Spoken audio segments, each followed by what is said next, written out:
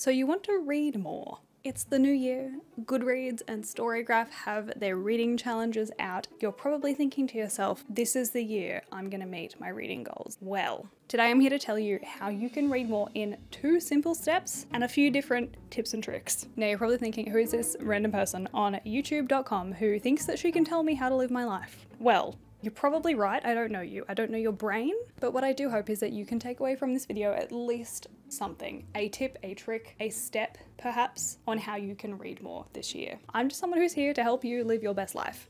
To live your best reading life. Also, by trade, I'm an occupational therapist, and it's kind of literally my day job to help people figure this stuff out. So, step one is gonna sound really simple and it's gonna sound really patronizing, and I don't intend it to be that way, but it is figure out what's getting in the way of your reading. Is it time? Is it concentration? Is it motivation? If you can figure out what is getting in the way of your reading, it's going to be so much easier for you to figure out what it's going to actually take to read more or to read as much as you want to read. And even if you only spend one day reading, if it's one day more than you were going to read, I'm going to call that a win for you and for me out of those three things that I've just listed, I'm going to give you some tips and tricks on how you might be able to read more. These aren't going to work for everyone. They may not work for you. Some may work for you at some times and they may not work at other times. Again, I don't know you. I don't know your brain. If I don't cover what is your issue with reading in this video, leave me a comment. I'll do my best to problem solve with you down there, but I can only cover so much in one day.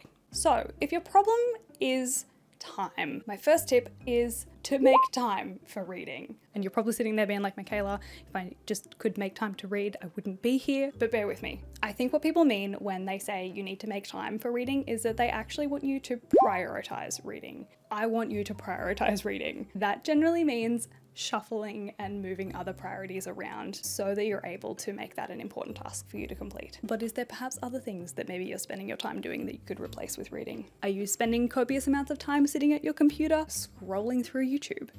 Are you perhaps sitting at your desk at lunchtime at work, working instead of enjoying your lunch? You could be reading. It doesn't have to be a significant amount of time, it could just be 20 minutes here or there. But if that's 20 minutes a day that you are reading that you weren't reading before, that's over an hour a week that you've gained just in reading time. So it doesn't have to be huge, just shuffle your priorities a bit. Which leads me to tip number two, which is use your travel time for reading. I'm going to assume that you're a person who either works or goes to school or has to commute in this post pandemic world to the place of occupation that you exist in. One of the best things for reading more is to use the time that you are traveling for reading. If you take public transport, take a book with you or download an ebook on your phone because like if you're not reading, what are the chances that you're actually sitting there just staring at your phone anyway?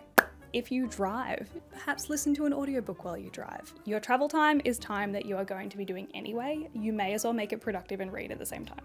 Tip number three is to socially read. Now this one's gonna sound weird, but again, bear with me. If you have people who love you for you, or if you have people who also really enjoy reading, schedule time together to just read together. You don't have to read the same thing. You don't have to talk to each other. Just schedule some time to sit down together and read. You get the bonus of your socializing, but also you get to have a shared experience with someone else that is quite unlike any other shared experience with other people, in my opinion. Two birds, one stone.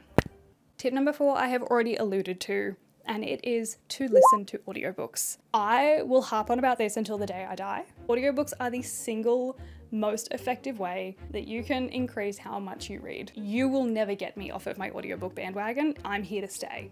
Like I said, pop it on in the car while commuting to work. Pop it on some headphones while you're doing the dishes or the vacuuming or any of your other household chores. Literally half of the books that I read last year were audiobooks that I listened to. And that is simply because I work full time and I do YouTube on the side. So my time to actually sit down and dedicate to reading is nowhere near what it used to be. So listening to audiobooks has been how I have adapted my reading and the way that I ingest stories and writing and has literally changed my life. Now I will say the paid audiobook sites are a bit pricey. I wouldn't recommend that for everyone. However, the day I discovered that you could borrow audiobooks from online libraries, my life changed in a way that I genuinely classify as a significant event in my timeline. Look into it, see if you can get it.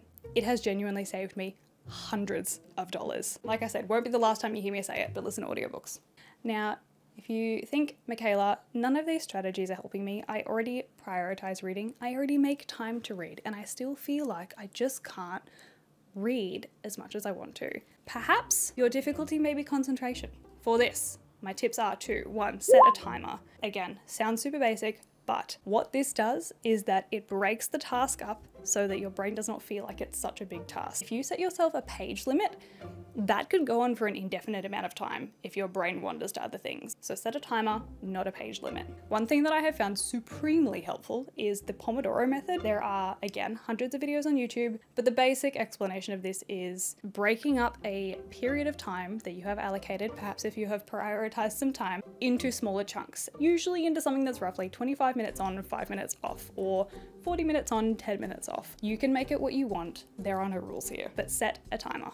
And usually the YouTube videos have like really lovely lo-fi music and aesthetic pictures that accompany it. And the bonus for this is that I put it on my phone. And so when I'm reading and the Pomodoro lo-fi timer is there in front of me, I physically cannot use my phone in that time. Tip number two is to have a tiny notebook next to you. Hang on have a tiny notebook next to you. This is to write down any errant thoughts or tasks or opinions while you are reading. How many times have you been trying to read and then you remember, oh my gosh, I have that thing that I need to do, and then you go and do the thing and then you aren't reading?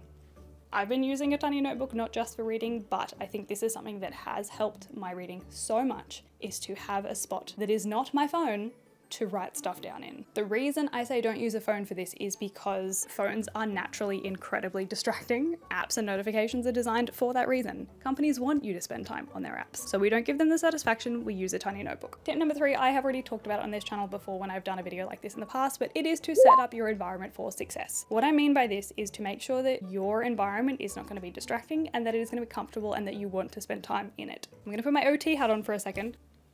I want you to consider your sensory preferences for this and I want you to think about using your five, there's eight, but your five senses to think about what in your environment you can change to best suit your sensory preferences. Are you someone that gets really distracted by so much clutter and visual stimuli in front of you? Are you someone that perhaps requires music or requires no noise to be able to sit down and concentrate and read? You could light a candle to make it more ambient, get the aromas going, you know, set up your environment, think about what it's going to take for you to make that environment less distracting and more enticing for you to spend time there. Tip number four, again, listen to audiobooks. I told you to come back, but specifically listen to audiobooks either while you're doing something else that's menial, like playing Bejeweled on your phone or Candy Crush, or while reading the book at the same time if you are lucky enough to have a physical copy of that book too. Again, we're playing on the sensory preferences. If you can reduce the amount of senses that will be distracted by other stimuli, you have more chance of reading. It's basically maths. Listen to audiobooks. I swear I'll stop now. And my fifth and final tip for concentration specifically is body doubling. This is something that's really popular in the neurodivergent ADHD ASD community. The premise of this is literally just to do an activity with someone else there. You don't necessarily have to interact with that person. It's kind of the same as a socializing one, but just with less pressure. I think. That person doesn't also have to be reading. They can be doing whatever else they want to be doing. However, we are delving scarily close to the motivation section of tips and tricks. I know I've spoken about these before. I'm gonna do it in rapid fire, so we're not here for an hour talking about this. Read something that you've already read. Break the slump, feel the feels. It's gonna be so much easier for you to face something that you know what's coming than face the anxiety of not knowing what's gonna happen. Number two is read something short. We love a short book to build the motivation. You could perhaps try this book, or this book, or this book but not this one, the first one. Don't go jumping into an 800 page three book series that is dense in its fantasy roots. That is not going to bring you out of a slump. And if it is, please share with me your wizardry. How do you do that? As an aside for this tip, also consider reading a graphic novel. They have pictures, they have less words, and they're short and they're quick. Graphic novels are great for reading slumps. The way that we build motivation is to start with the easiest task first and then progressively get harder from there because you want to build that success train in your brain and then let it choo choo itself out of the station to continue reading for the rest of the year. Tip three is read a mystery or a thriller. They're fast paced and they trigger that natural human curiosity in the brain that needs to know what happens and has this need for closure. Plus, the bonus of this is that the cozy subgenre of the genres has been making an appearance lately, which means that if you're not super into like the whole gory mystery type stuff, cozy mysteries, cozy thrillers are a thing now. Maybe seek some of those out. There's something in the genre for everyone. And tip number four is to do a buddy read. I've ranted and raved about buddy reads for years on this channel. Hi, my name is Michaela. I love buddy reading because what better way to have a shared experience with another human being than to read the same book At the same time, experience those stories differently because you're different people and then come together and reflect on how those things are different and how you had different opinions on those things. It is truly one of the best things that I have found about the reading community and this here channel, so consider a buddy read. Not only does it bring motivation, but it also, again, has someone else hold the accountability for you so you don't have to hold all that motivation on the inside, someone else holds it for you to an extent. Unless you and your friend do a buddy read and then neither of you actually really like the book and then you never really finish the buddy read, you never make it past 200 pages because the book is so dense and you never really speak about it again. Now you're probably wondering, Michaela, you said there was two steps and many tips and tricks. So what is step two? because so far I've only told you one. And it's actually just to completely disregard your goals.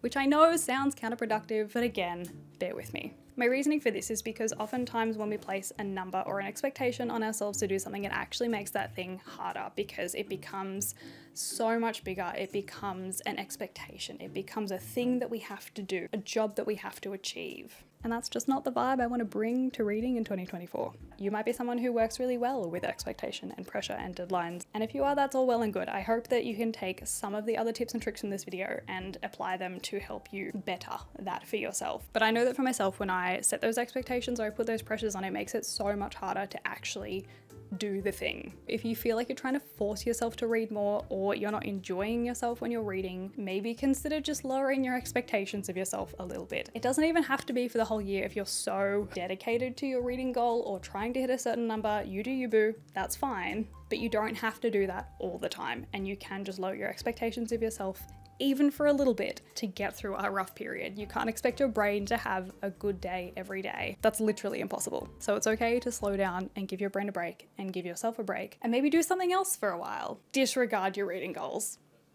is step number two, formally. Remember, there are no rules here. You need to do what you need to do to take care of your brain, prioritize yourself. The world is hard enough without putting unrealistic and unnecessary goals on your reading. And so, those are my two steps and many other tips on how you can read more in 2024.